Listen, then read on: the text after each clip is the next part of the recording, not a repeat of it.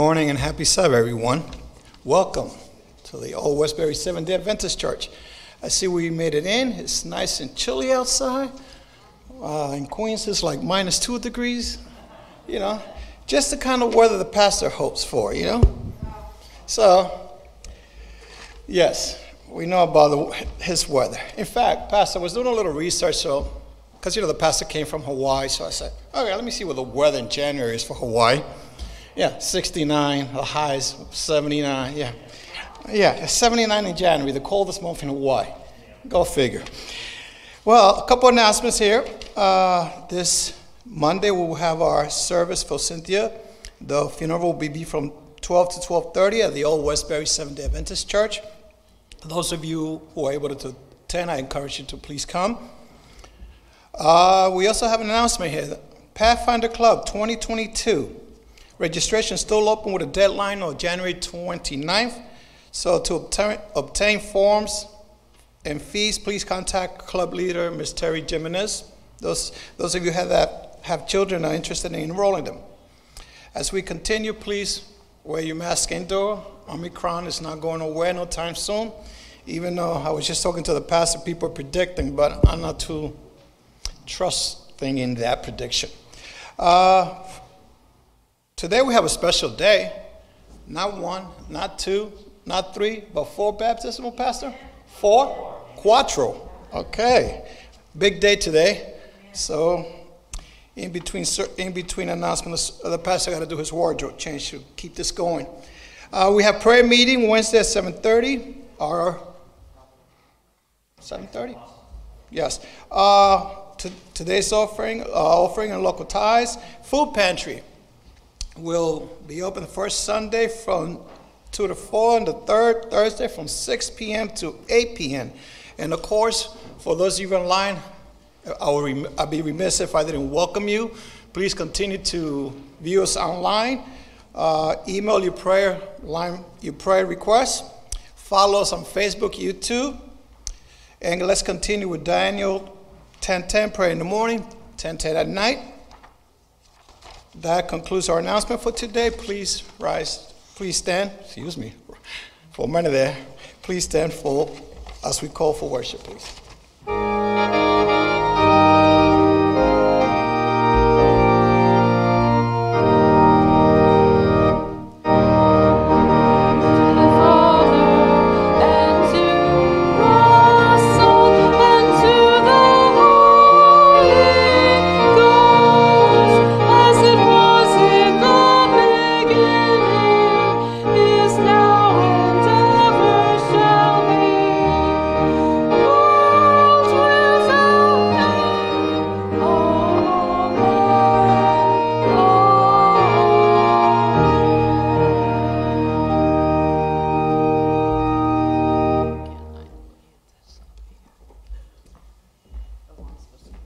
Let's pray together. Heavenly Father, although it's cold outside here in Long Island this morning, the warmth of our uh, presence in with the Holy Spirit gives us the joy to continue on.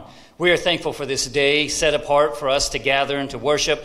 We thank you for the promise that where we can come, you will be in the midst. And we pray for your presence. Pray for the angels. Pray for an outpouring of your Holy Spirit as we worship you today. Bless our service as we do it in your honor and for your glory. In Jesus' name we pray. Amen. Please continue to stand.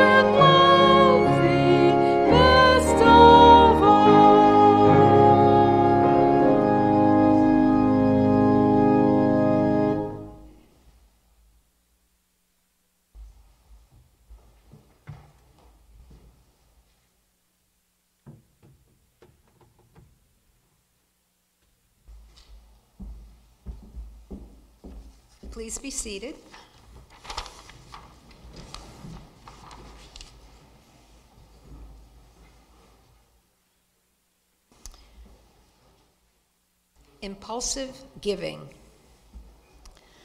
The progress of God's work depends upon the systematic giving of God's people. But is there room in your giving pattern to do something impulsive? The Bible tells of a story of a woman who was so captivated by God's love and mercy that she did something totally impulsive. I think you know the story. She spent the equivalent of one year's wages on perfume. She went to a party to which she was not invited, and she anointed Jesus with that expensive perfume. Then she cleansed Jesus' feet with her tears and wiped his feet with her hair. Some of those who witnessed this display were offended. She was a symbol, she was a woman of a dubious background, and letting her hair down in public was a symbol of immorality. But she was motivated by one thing the desire to show Jesus just how much he meant to her. Systematic giving is a good thing, but it's easy to slip into a pattern of doing it out of habit rather than expression of God's love. So if you hear the Holy Spirit asking you to do something impulsive today, why not do it? Today's offering is for the local church budget.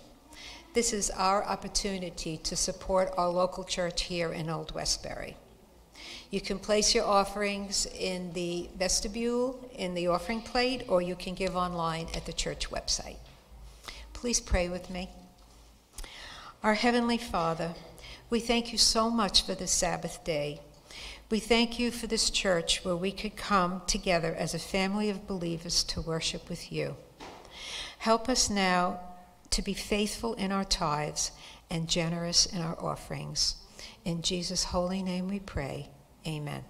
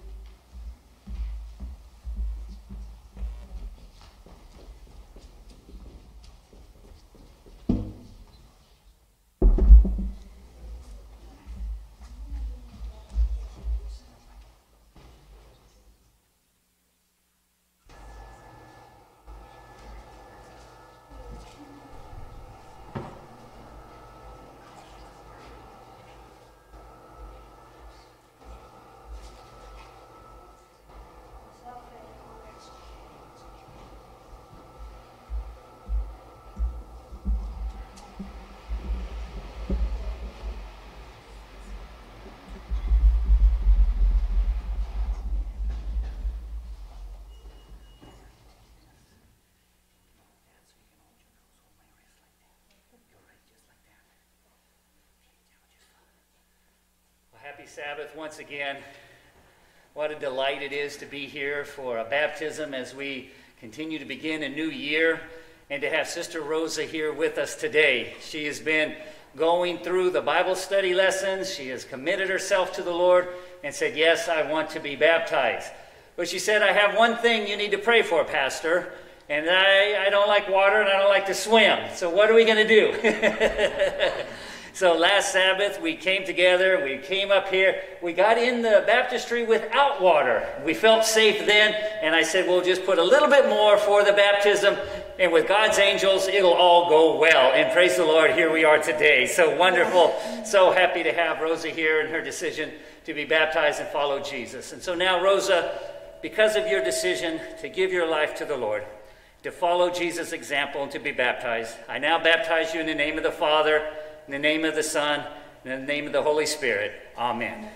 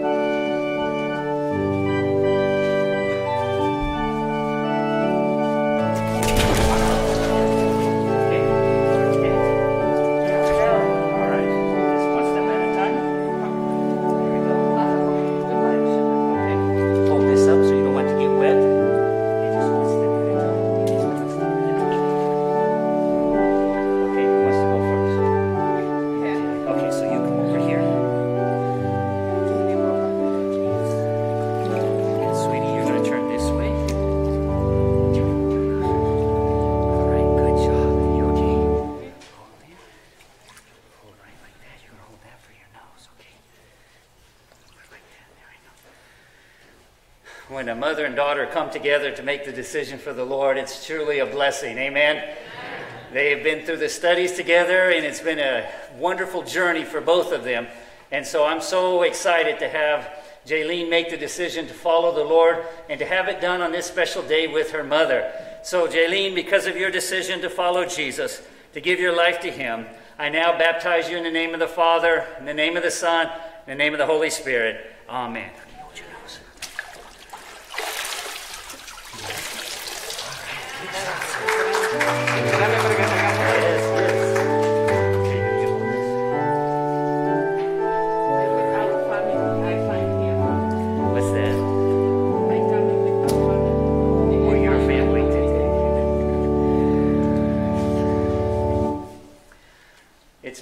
Wonderful journey for Wendy and to be here today.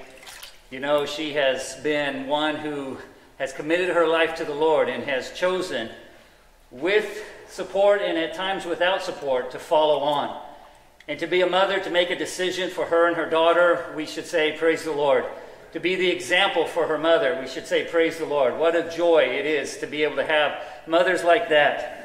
And we want to say a special prayer for Wendy that as she continues to grow and to follow the Lord, that God will be with her and bless her. And today we're her family, amen? Today we stand with her as brothers and sisters in her decision to be baptized. So now, Wendy, because of your decision to give your life to the Lord, to commit all to Him, I now baptize you in the name of the Father, in the name of the Son, in the name of the Holy Spirit. Amen.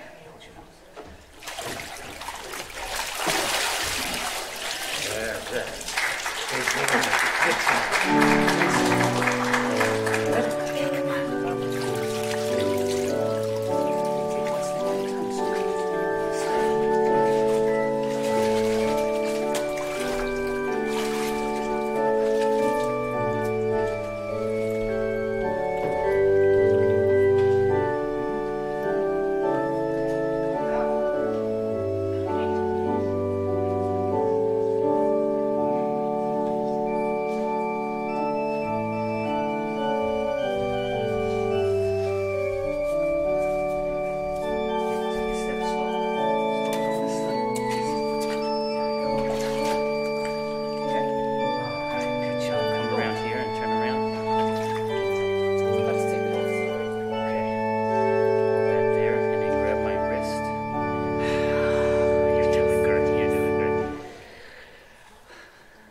it's been about six months ago, maybe five months ago. Less. Less. Four months ago. There was this nice lady sitting in the back of the church. Sabbath after Sabbath was coming. Sometimes she'd bring her mother along. And so finally I had the opportunity to say hello and greetings and everything. And it was a couple of weeks later, we were doing baptisms.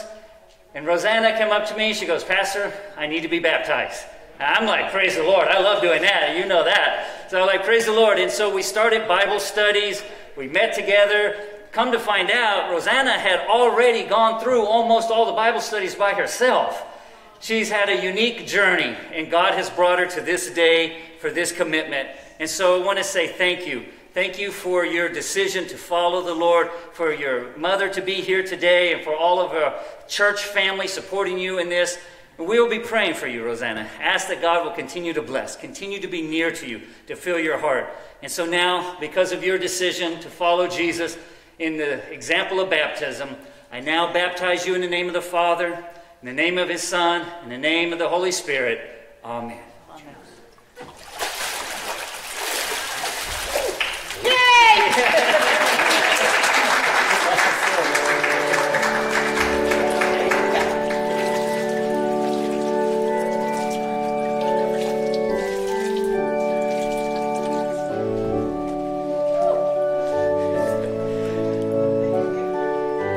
Good to see.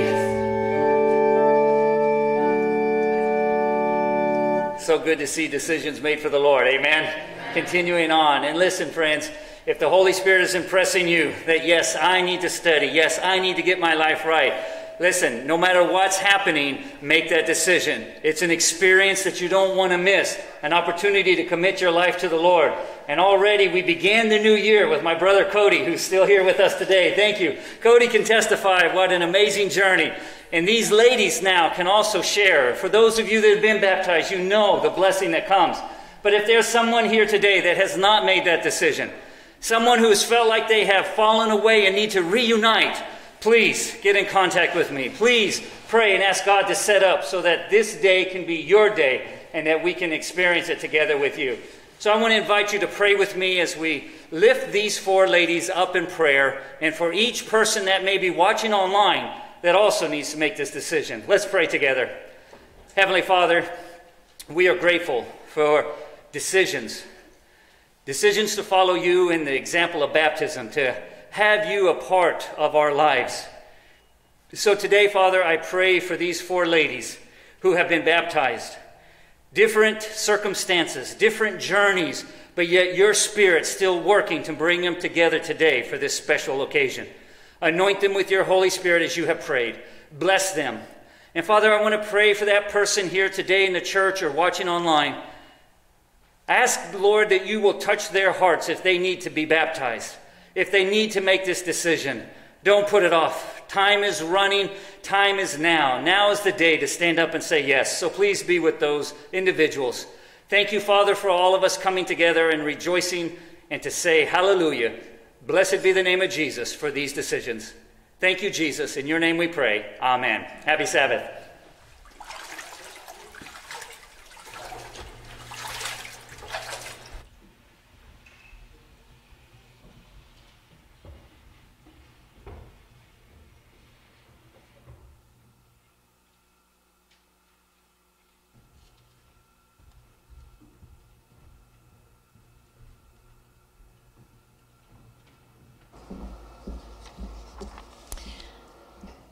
Let us turn in our Bibles to Revelation 14, verses 6 through 13.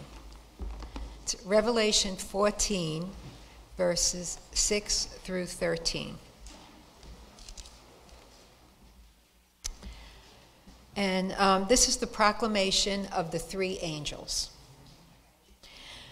And it says, Then I saw another angel flying in the midst of heaven having the everlasting gospel to preach to those who dwell on the earth, to every nation, tribe, tongue, and people, saying with a loud voice, Fear God and give glory to him, for the hour of his judgment has come, and worship him who made heaven, the earth, the sea, and the springs of water.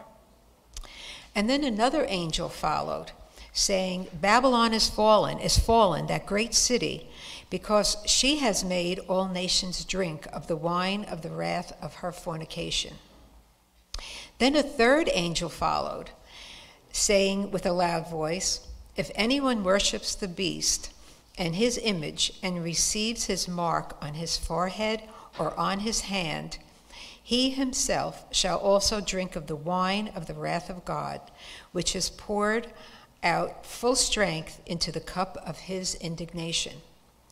He shall be tormented with fire and brimstone in the presence of the holy angels and in the presence of the Lamb. And the smoke of their torment ascends forever and ever, and they have no rest day or night who worship the beast and his image. And whoever receives the mark of his name, here is the patience of the saints. Here are those who keep the commandments of God and the faith of Jesus.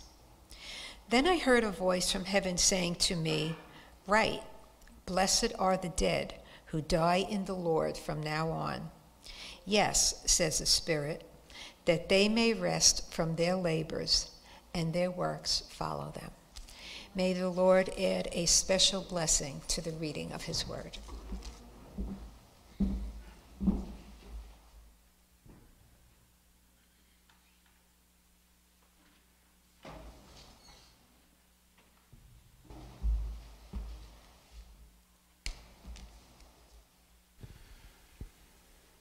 Good morning and happy Sabbath, church family.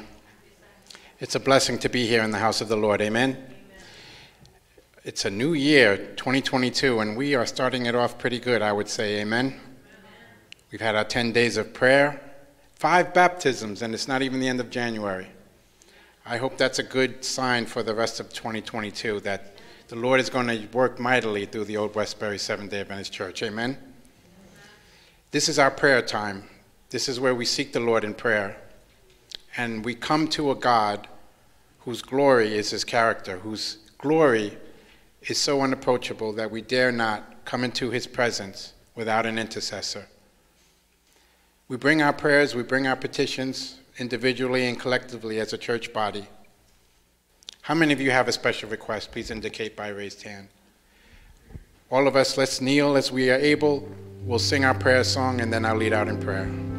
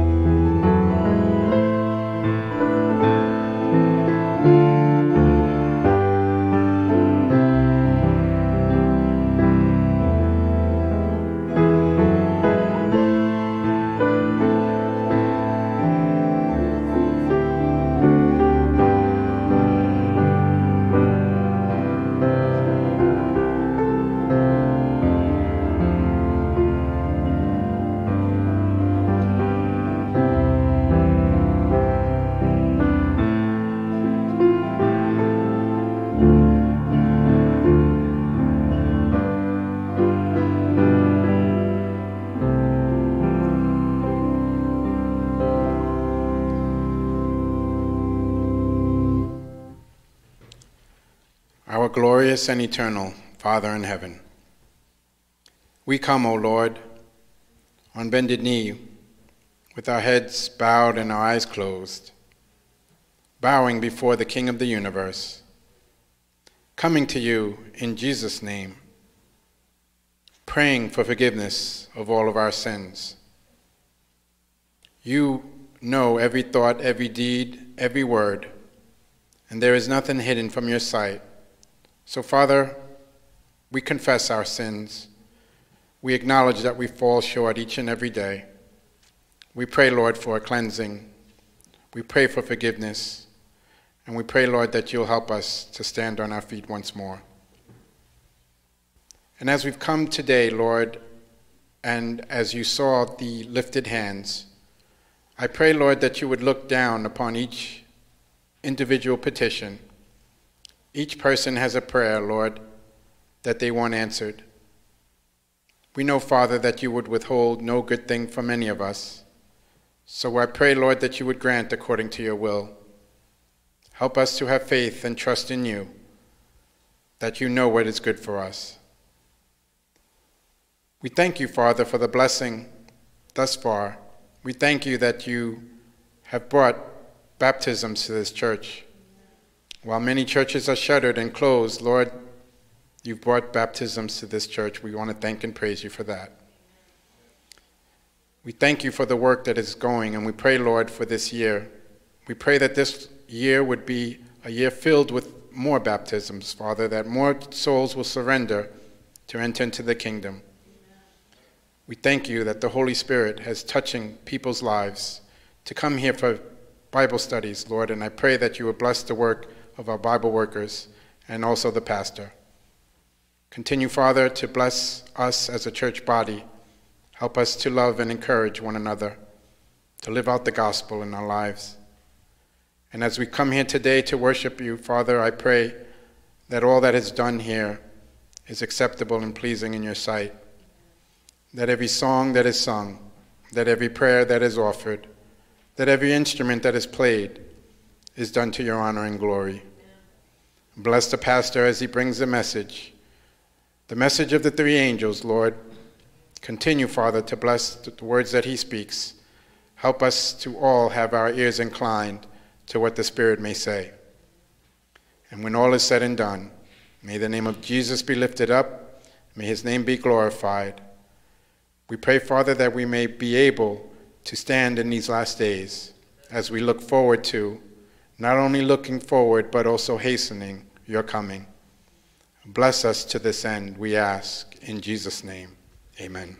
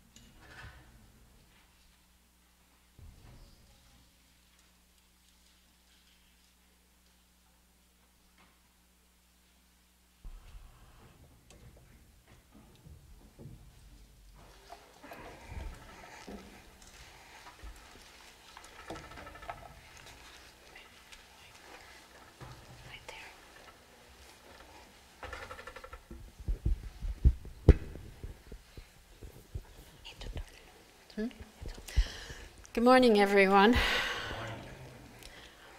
Our song this morning, Take My Hand medley, um, we'd like to dedicate to all the, everyone, but to the baptism candidates that just gave their lives to Jesus. May they take his hand and follow him all the days of their lives.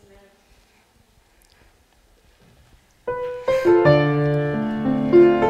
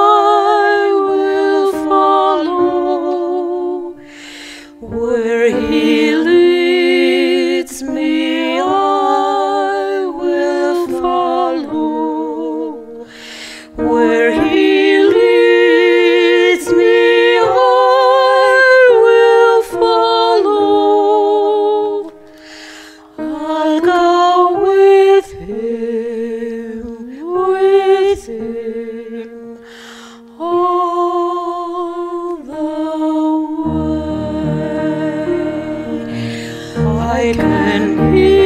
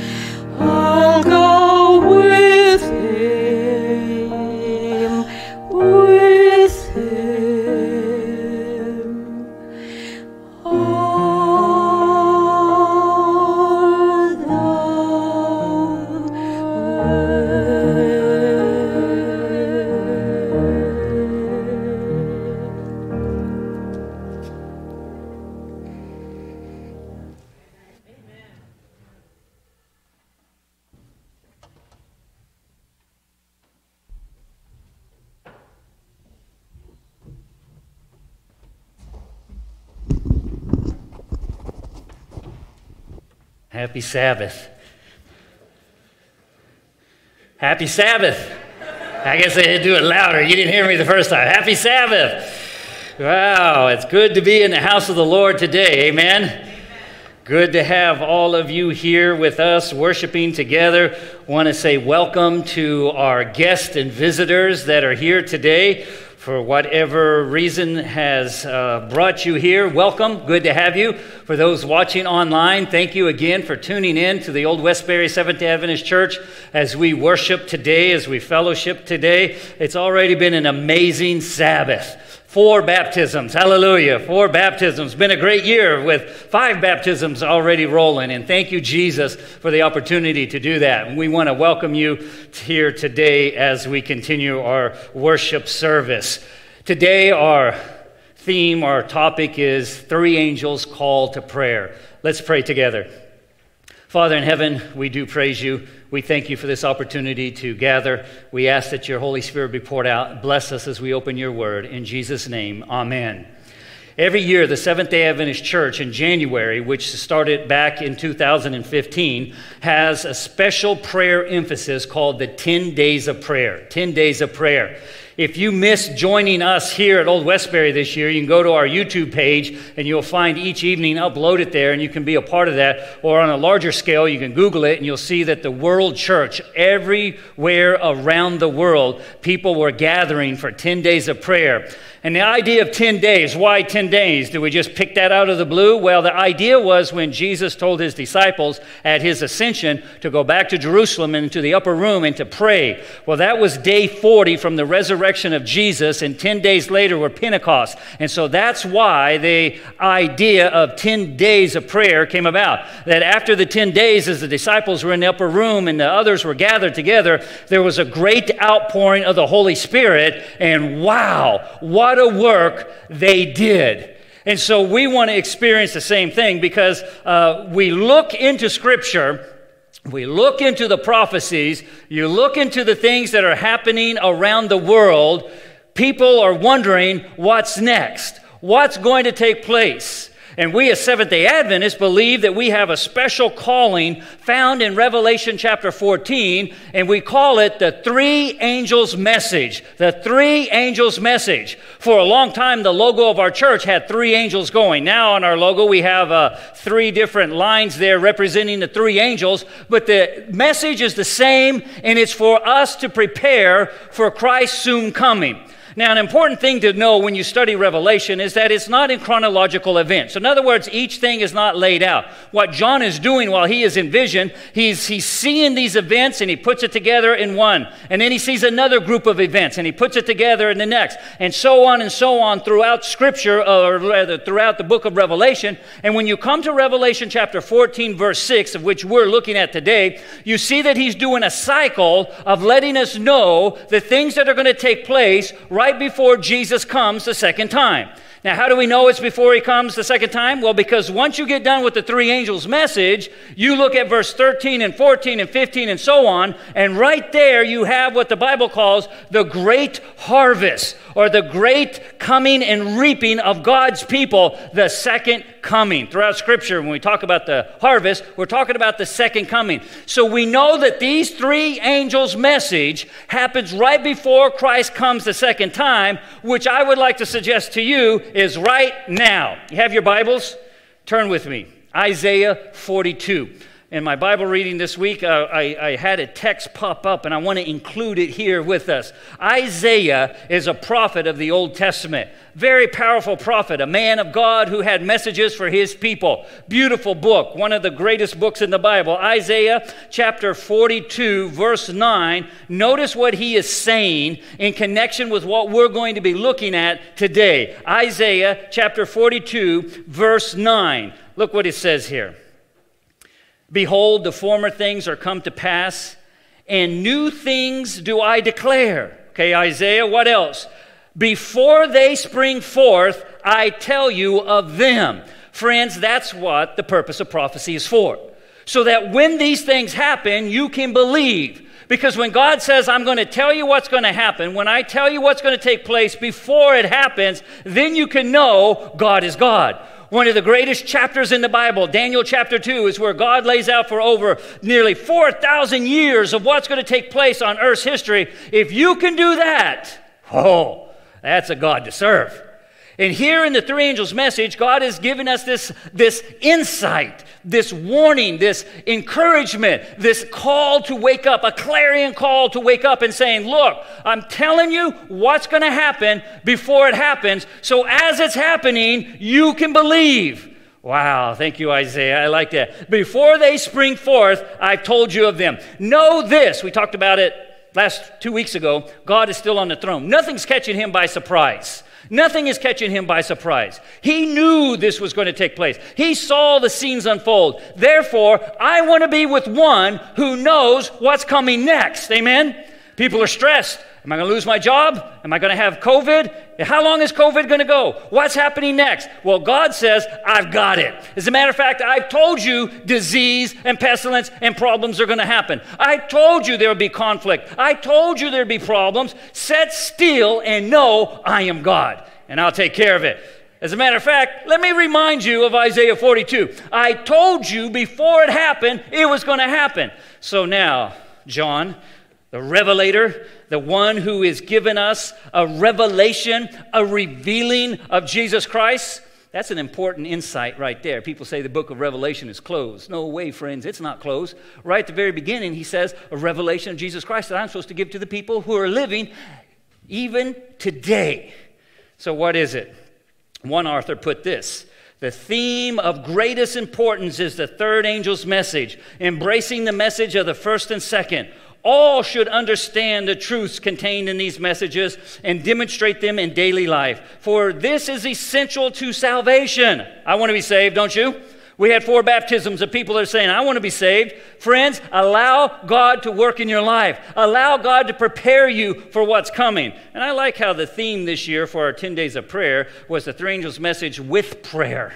Because when you look at the three angels' messages, some may even get nervous. Some may be startled. Some may be scared. Because when you come to the third angel's message, which we're going to go through today, when you come to the third angel's, friends, it is the most solemn warning found in the Bible. It is the most intense wake up call that you will find in the Bible. But you see, if you're praying with Jesus, what do you have to fear? When you have Jesus with you, what do you have to be worried about? What is it that can come into your life that God cannot help you through if you have God on your side? That's why he gives this three angels message. Turn with me in your Bibles to Revelation chapter 14.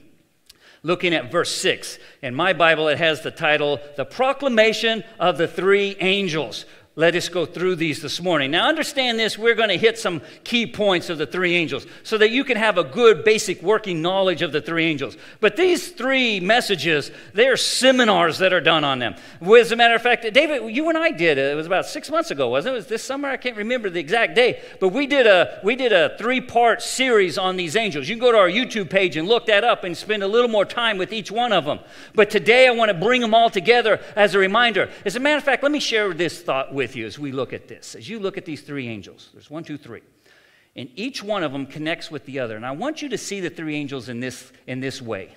See the three angels as God in the first angel saying, Wake up, I want to save you, I want to protect you, I want to help you.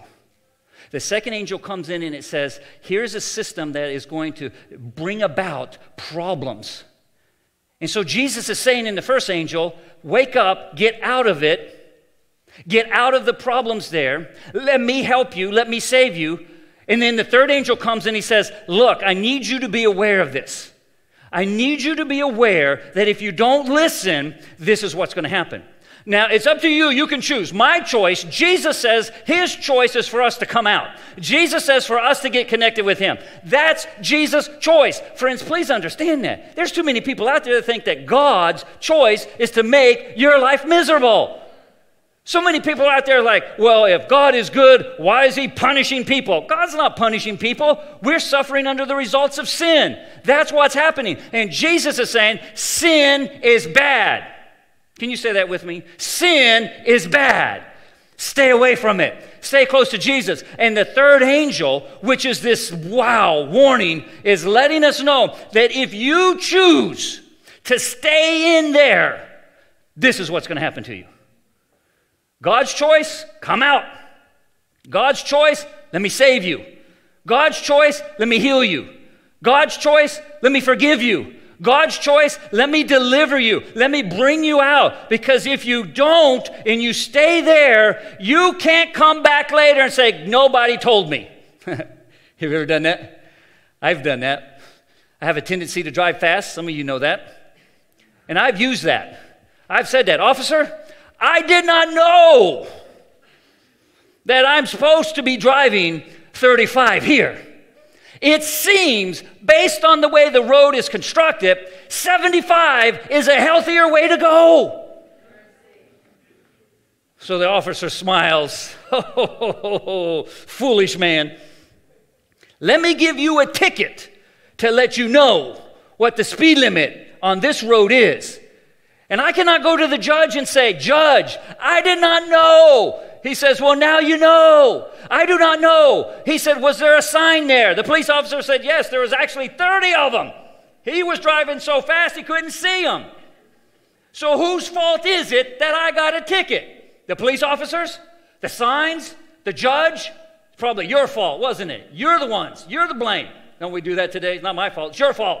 Even when I'm speeding, it's your fault, officer. If you hadn't been there, there will be none of that in this day. Dare I say there'll be none of that in the days that are coming. Why? Because Jesus, even through Isaiah, said, I'm letting you know what's coming. So when it springs up and it's taking place, you won't be walking around like, wow, what is this? You can't go to God and say, God, you should have told me. Because notice verse 6 then I saw another angel flying in the midst of heaven, having the everlasting gospel to preach to those who dwell on the earth, to every nation, tribe, tongue, and people. Verse 7 saying with a loud voice, right there in the first angel, it's telling us it is going everywhere. It is being told to everybody. And it's not just being done as a whisper. Psst. Did you hear about the three angels? No, no. It says with a loud voice. Look that Greek word up. It's like a megaphone. It is crying out. It is shouting out. That's one of the things that I stand very proud of about being a Seventh day Adventist. This church has a global mission. This church has a global destiny. This church has a desire to take the gospel everywhere, all around the world. And if you're in a church that is not centered about taking the gospel of Jesus Christ to everybody, you should question whether you should be a part of that church or not. Because the Bible says in the last days, God's people will be going out globally. We are doing that pray for the ministries. We just embarked upon a wonderful program called the 10 Days of Prayer, where we were praying with brothers and sisters all around the world, every continent. Every continent. So we can't come up and say, Lord, I didn't know it. There won't be the excuse, I didn't hear about it because what does it say here? Then I saw another angel. Now, these things are symbolic here. It's not a literal angel that you're going to be looking up in the sky and like the airplanes that fly over us here on Long Island, you'll be up one day and there's an angel with wings. It's symbolic. It's talking about a messengers, messengers. It's going to be shortwave. It's going to be social media. It's going to be people. It's going to be us taking the gospel. And I saw another angel flying in the midst of heaven, having the everlasting gospel to preach to those who dwell on the earth. To what? Every nation, tribe, tongue, people. The gospel does not discriminate. The gospel is not here to pick certain people. I praise the Lord when I look at our church here today. This is a church that is multi ethnic. Can I do something? Would it be all right? If you are first generation or second generation from another country other than America, can you raise your hand? Wow. Look at that. First generation, second generation, that you're from another country other than. Now, I'm from America, so I'll represent USA. Woo! Okay, I'm here. America. Wonderful. Did you see that? This message is for all of us, for everywhere. It's not just for certain people. It's not just for these people. It's not just for men. Not just for women. It's for everybody. And what is it? It says it, and we've read it already, having this message, having this everlasting gospel to preach to those who are on the earth. Everlasting, the glorious gospel. You see, friends, what do you need to deal with today's problems? You need the gospel. How do you deal with financial problems? How do you deal with success? You see, when we come to America, we still we have people just, just dying, killing to get into this country. How do you deal with success? I've been in countries where I've been in villages that have grass huts where there's mud floors and a pot in the corner of where they make the rice each evening, and that's their meal. And then they make the rice in the morning, and they take it with them to go work in the field all day, and they come home. I've been to places like that. And then I've been here, and boy, North Shore, multi million dollar homes. How do you deal with success? Some people are going to lose their soul because of success more than those who have nothing struggle with their lives because they know they need something. Success, the danger is we don't need anything. And we live in America today and we have people that are out there, it's like the gospel of me. I will save myself. I will deal with my problems. If I could just get to America, I will have success. And then once I am successful, once I have a car, once I have a home, once I have money, once I have an iPhone, once I have a big screen TV, once I have fancy clothes, once I have medical care, once I have everything, Jesus, thank you, I won't need you again. That's what we're living in today. That's what we have here in America have people that we're in the midst of COVID, and there's stadiums with 60,000 people, freezing cold. They're not worried about no COVID. But on Sabbath morning, come to church. Now, look, if you're immune compromised and you have issues, take care of your health. But make sure you are taking care of your health. You see, another reason of success in America is we got so much junk food we stuff in ourselves. Our bodies are so corrupt and sick and everything. We don't need COVID to make us sick, you just need a cold air. We have to come here for the everlasting gospel to help us with success. We need a gospel that helps us with success when we have everything, when we got all the money, and then what do we do? We don't need Jesus. Jesus says, You need me. Because let me tell you what, what happens when it's all wiped out? What happens when it's all taken away? My wife and I were talking the other day. We have a, a money we're saving up to try to buy a house. You pray for us. Man, the homes here in New York, boy, they are costly. No, cheap little cottages. And I thought in Hawaii, Caesar, they were expensive. We had this nice little 1,200 square foot little thing, 650 to $700,000. Wow. And it was single wall, because in Hawaii they don't have big, it's a single wall. It's these little plantation houses that they, wow, the, the grass will grow up inside. to pull the grass out on the inside. Wait a minute, what's that? Single paneled wall. $650,000. But as long as I'm in paradise, I have success, it's all good. So my wife and I are talking about, we're trying to get a little money together, buy a place. She's worried. She says, What happens if for some reason, just this last week we had this actually take place? Canada is now taxing people who don't have the vaccine. What happens is because of the vaccine or some other issue, we're going to get to it, happens where all of a sudden your money in your bank account is gone. How much money do you have stuck in your mattress? What happens when your credit card is denied? What happens when your cell phone, and I'm in trouble because my cell phone, I can't wait. You know, they're going to put your driver's license on your cell phone. They already have it in Arizona and other states, so you can have your passport and your, your driver's license on your cell phone. You know how amazing that's going to be? Except for when they turn it off and you can't use it. Everlasting gospel is why we need to be praying for one another now. And for those of you that think it will never happen, wake up. Wake up. It's right now. Supreme Court had to get in to deal with an issue with our president. It's still not resolved. And it's just letting us know what's coming. It's not going to get better. It's not going to get better. But the everlasting gospel of the first angel that's going out for everybody is saying, Come back to God. When it says there in verse 7, fear God, it's saying, Be obedient to God, come back to God, reverence God, allow God to be the one who rules your life. He's the one who's going to help you. He's the one that's going to be able to give you peace when there's problems all around. Now, I'm not trying to scare you, I'm just trying to let you know what's coming, just like the Bible's saying. We're not scaring you, but here's what's coming. Dare I say, we're living in it right now. But the everlasting gospel, the first angel, is going out there and he's saying, Stay away from the second angel. What's the second angel?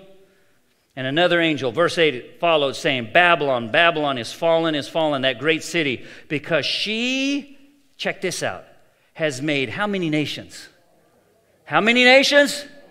Does it say there? It's made just the USA, just North America, just Canada, just Europe. Brothers from England, just England. No, no, no. All nations drink of the wine of the wrath of her fornication. Now, it's interesting. Again, we're talking about symbolism. We're not talking about a literal fornication. We're talking about a union with church and state that should not happen. In the Bible, God says church and state should be separated. The state should not come in and tell the church what to do. The state should not come in and mandate, regulate, enforce, restrain, whatever word you want to use, the church. And here, we're told that this Babylon is going to make all nations drink of the wine of her wrath. Now, when the Bible talks about wine, it's talking about you have pure wine, you have impure wine, you have fermented wine, you have pure grape juice. And it's talking about doctrines, ideas, theologies. You have pure ones and you have impure ones. And there's a system here called Babylon. And what are we talking about Babylon? If you study your Bibles, you know in the Old Testament there was a, a Babylon, a great nation, a great nation. And the word in the Babylonian language, Babylon, means the gate of the gods. So when you came to Babylon, you were coming to the gate of the gods of that time. Now, the Hebrews used it in a derogatory time to say confusion uh, negative statement that if you're in Babylon, it was bad. As a matter of fact, at the time of John's writing, the reason why he used the word Babylon and not Rome is because Rome was screening the letters he was writing, and these letters would have never gotten off the Isle of Patmos had he used the word Rome. But the Jews and the people at this time, going back all the way to the Hebrews, used the word Babylon in a negative sense, talking about a false worship, a false power, a false empire. So Rome, at the time that was persecuting, was considered to be Babylon. So here John says, look, here's a false system of worship. Get out of it. Now, many of us as Seventh day Adventists are quick to look at, oh, yes, you know, we, we got to get out of the, the Sunday worship, Sabbath worship, we got to get that. But, friends, there's more than that. If you want something interesting, go this afternoon and study the isms. I want to share with you the isms of Babylon. Racism, terrorism, capitalism, nationalism, realism, feminism, activism, Catholicism, individualism, alcoholism, socialism, consumerism, you see, we're so caught up today thinking that it's just some bad church over there and understand that error is error. If someone's telling you all you need is a better job and more money, you have been lied to and you're in trouble. If someone's told you all you need to do is move to America, woo, okay, come here. But if you leave Jesus there, you're lost here just like you're lost there. Moving here and having a big screen TV does not mean you're now, I've made it. Hollywoodism. People out there saying, I don't agree with all the things that are going on, but do you watch television? Ooh, you pray for me. Devil goes after me with that. I like TV. I like a big screen TV. I like the remote control, 50 million channels. Everything you could ever want to see, to tell a vision, to tell an error. Wow. So Jesus is saying, Come out of that. Verse 8, come out of that. Why? Because, friends, if you stay there, if you stay there, verse 9, and the third angel followed them, saying with a loud voice, if any man worship the beast in his image and receive his mark on his forehead or in his hands, hold on to that. Where? Forehead or where? Hands. He himself shall also drink Now, check this out because right here in this verse, you're hearing words John writes that is the most unlike God thing you find in Scripture. You ready? And he himself shall also drink of the wine of the wrath of God, which is poured out full strength into the cup of his indignation. Some translation says poured out without mixture, poured out without any reserve. You see, each day, friends, the good, the bad, the ugly, the evil, the righteous, all of us right now are having God's mercy and grace. If it wasn't, the wicked, when they do wickedly, would die. But at this time that's coming, his wrath is poured out full strength into the cup of his indignation. Now, in the Bible, there's two cups there's a good cup, there's a bad cup. There's the cup of sorrow, the cup of punishment, the cup. Jesus drank that cup when he was in the, the garden. You remember it says, Father, if possible, what? Take this. Then we have the communion cup. We talk about the communion cup, the righteousness. But when you talk about the cup of indignation, you talk about the cup of this, this outpouring of God's wrath, not mixed with mercy. Why? Because you see, friends, for 6,000 years, Jesus has been dealing with Lucifer, who is now considered Satan, that has been plaguing this planet that we live on. And soon he's going to judge him, the fallen angels, and every person who chooses to stay with him. That's why God is saying, I have a gospel, a good news, a way for you to get out. So come out of it. Get out of there. Because if you don't, my wrath is going to be poured out. Can you imagine the day in which Jesus pours out his wrath upon this planet and every person that's alive and have to stand there and watch what people who are being broken and destroyed by the plagues, and that's what it's talking about, the plagues that are coming. He's saying, I don't want you to do that. Have you ever had to spank your child? Now, I know there's parents out there that have a, a different way of, of raising their children. Have you ever spanked your child? How many times has it brought you great joy to just spank your child? Now, there may be days when you think, eh, no, no, no. When's the last time you've disciplined your child and you had a smile on your face and you're like, ha ha ha! I've been telling you, I've been waiting for this day. And here it is. And now I'm going to spank the bad out of you. It just doesn't happen. The parent's heart's broken as they discipline the child because they have to learn in the hope of redeeming them, of hope of correcting them, and the hope of having them to be restored back, to learn, to change the bad behavior. At this time, there's none of that. This time, it's over. It's done. Friends, why did we say the three angels prayer? Because, friends, now's the time to pray. Now's the time to say, Lord, look into my heart and waken me up. Help me, because I don't want this. And he shall be tormented with fire and brimstones in the presence of the holy angels. That's when justice will be served. You see, we don't get justice in the courts today. Many of us want revenge. This is when revenge happens. We want vengeance. This is when vengeance happens. God is a God of mercy and love and compassion, and He's going to deal with this thing that we are struggling with. And friends, if you don't choose now to change the way your prayer life is, change the way your life is living, and get in harmony with the call of the everlasting gospel, when this happens, you're going to be on the outside looking in. And then there's no one to blame but you, because you chose it. You chose not to go and get the grace. You chose not to hear the everlasting gospel. You chose not to make the changes in your life. You chose to stay in the isms instead of coming out. Friends, why? Why? I don't I don't want to be there. So when the angel says come out of Babylon, I got out of Babylon. I'm still running. You pray for me. I'm praying for you. I don't want God's wrath poured out on me without mixture and to receive the torment that's here. This angel is intense, is it not? Can you show me another place where you have where God is saying this, where one of the Bible writers is saying this to let us know? But he's doing it because he loves us. And let me tell you what, friends, whether you want to believe it or not, you with me? Whether you accept it or not, will not change the reality that this angel is coming. You with me? It's coming. It's coming. But if you have the gospel, I say let it come.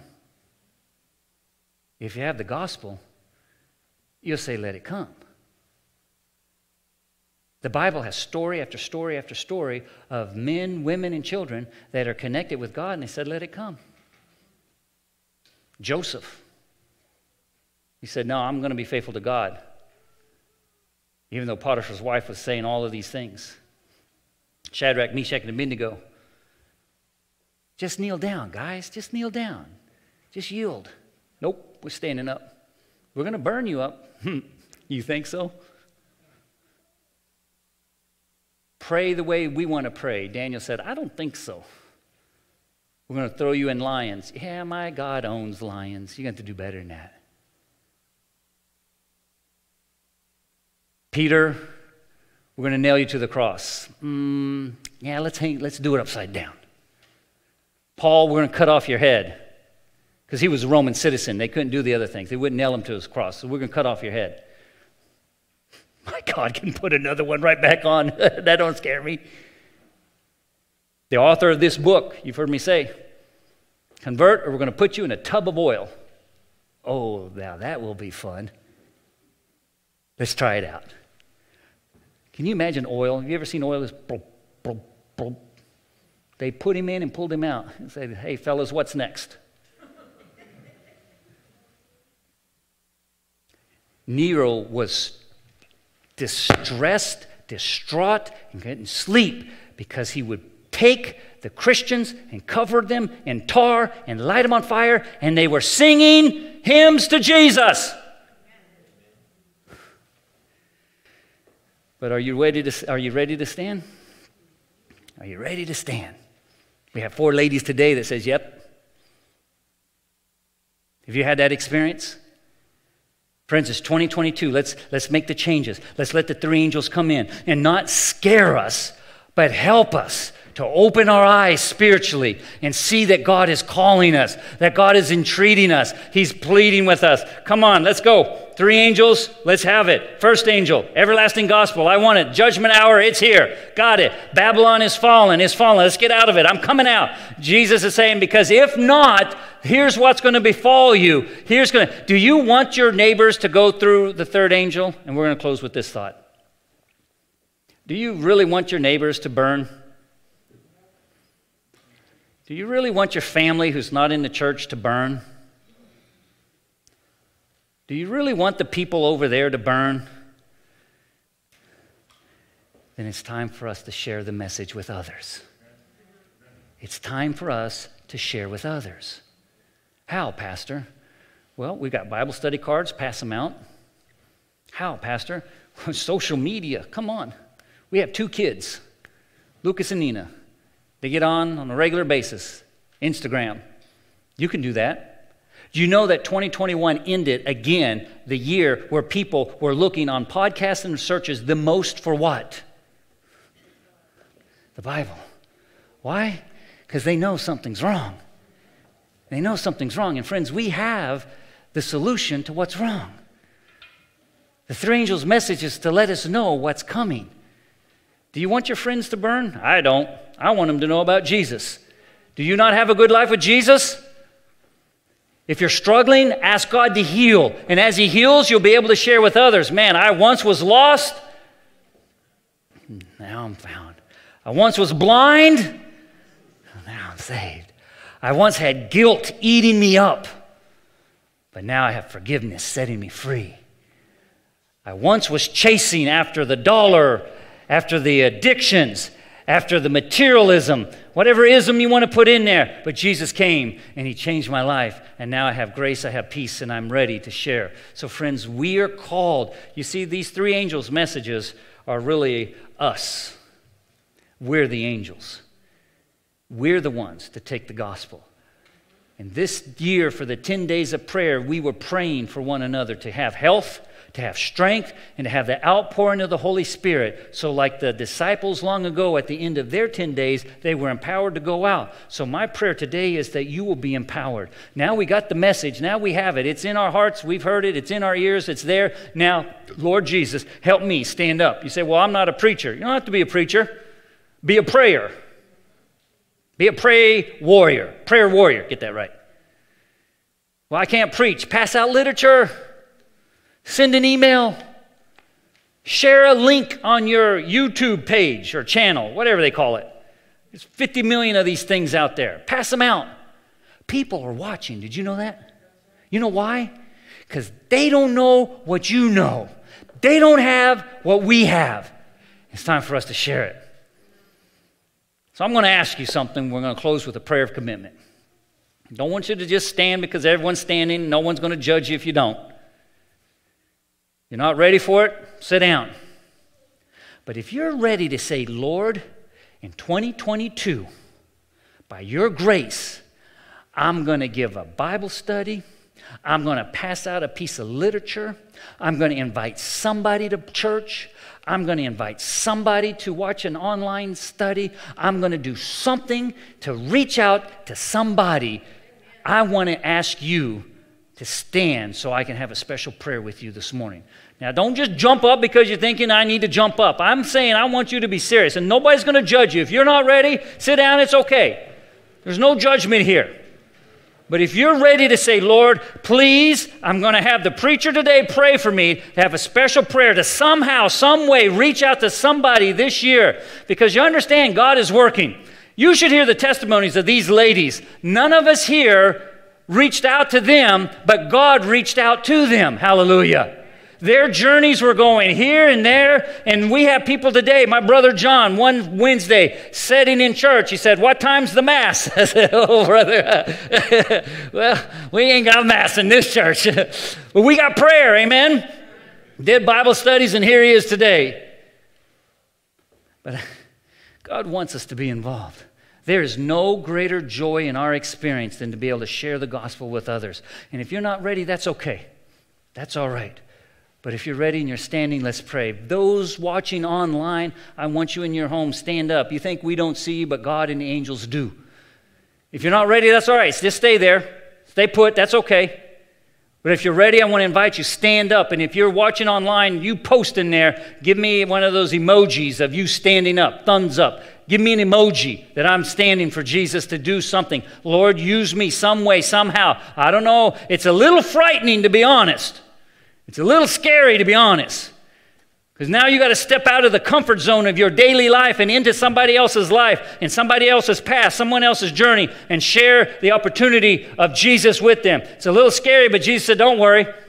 Just like Peter when he got out of the boat, I was with him. Like Daniel in the lion's den, I was with him. Just like this simple cowboy from Kansas is now here preaching in New York City. Who would have guessed it? Father in heaven, the three angels' message is real. We want to be we want to be a part of it. But we need your divine grace and your help. Some of us are, are standing today to say, Lord, put somebody in my path. Impress me how I can, in a healthy way, share Jesus with others. Some of us are standing online and saying, Lord, okay, um, all right, I'm going to try this. You need literature, we'll get literature for you. You need something to share, share the church's website. Invite them to an amazing facts. It is written, Breath of Life Bible Study. You can go to our website, and on our website, we have links for 10 different types of Bible studies that you can send to your friends and family to invite them. Say, Would you just read it? I'm not going to hammer you. I'm not going to criticize you. I'm just asking you to read it. So, friends, as we're standing today, we're asking for a special outpouring of the Holy Spirit upon us today. Help us, guide us, give us wisdom, give us courage. It was frightening for the disciples who had just saw Jesus nailed to a cross, and now he's telling them to go share the gospel. Through the power of the Holy Spirit, it can be done. It's not by might nor by power, but by thy Spirit, saith the Lord. And so we do that. So, Lord, I pray that you will be with all of us. Every person here today, whether we're standing or not, it's okay. I just pray that you'll be with us and anoint us. Help us to go into 2022 to be an angel shining the light of these three messages with those we come in contact with. I ask in your precious and holy name. Amen. I'd like to invite everybody to stand now as we have our closing hymn. Please, everybody, stand and let's join together as we sing our closing hymn, For You I Am Praying.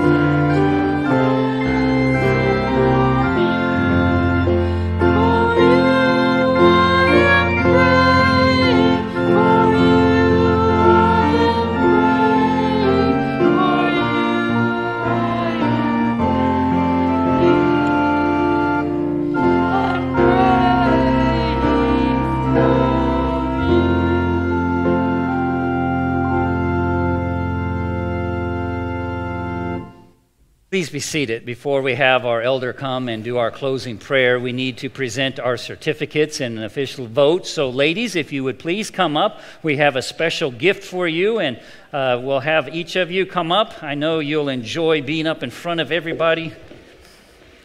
But We want to do a, a special vote. Come on up here, sweetie. Very good. Have all four ladies come up here. Thank you so much. Oh, I got to put my mask on. All right, good to have all of you here. So, church family, based on their baptism today, is there a motion we accept them into our church membership here at Old Westbury? Have a motion, a second. All in, all in favor, show by raise of hands and a big hallelujah. Hallelujah. Thank you so much. So, we want to give them a special gift on this day.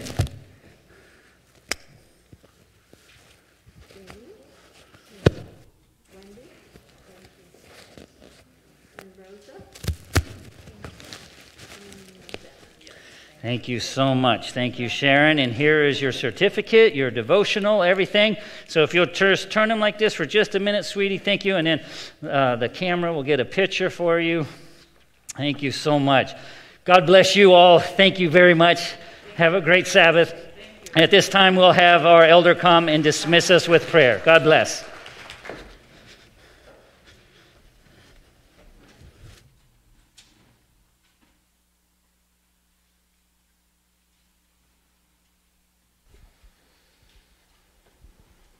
Amen and amen. 2022 is off to a good start so far, at least as in terms of baptisms and the preaching of the word. Hopefully, God can continue to use us. We have to pray for it. Just as the pastor said, not by power, not by might, but by my spirit, says the Lord. We have to pray for the Holy Spirit each and every day be persistent, be insistent, and God will hear and answer our prayers. Amen?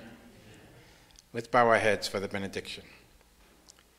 Our loving Father, we thank you for the message. We thank you for the day that was today, Lord, that this Sabbath day was a blessing truly for all of us. As we saw the souls committed to you, Lord, that went into the watery grave and rose fresh and new, we pray, Lord, that we may recommit ourselves and our lives to you. We dedicate ourselves to you, Father, and we pray that you will humbly use us. Help us to preach the gospel, to be a word of encouragement to each and every person we encounter. Help us, Father, to be used by your Spirit. Help us to empty ourselves of the world and more to have more of you enter within us. Give us your Holy Spirit. And now, as we dismiss from this place, Father, I pray that you go before us. I pray that your Spirit will continue to abide with us. I pray, Father, for traveling mercies for each and every person. Continue, Lord, to guard us and protect us throughout this week. Bring us back together that we may come and worship you once more. Bless our family, our friends, and our co-workers, and continue, Lord, to guide us by your Spirit. In Jesus' name I pray. Amen.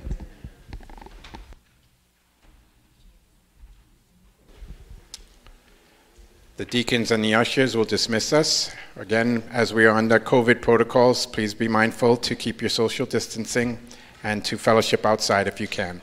Thank you. God bless.